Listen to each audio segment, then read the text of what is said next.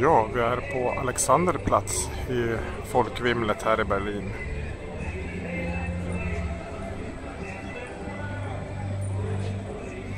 Och här uppe har vi Fernsehturm.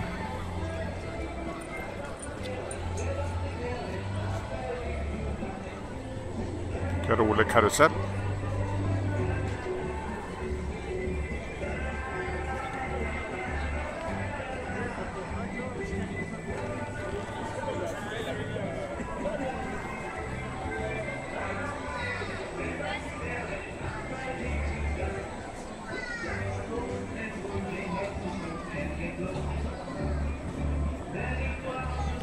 Här är en väldigt berömd världsklocka också. Man kan se klockan är överallt.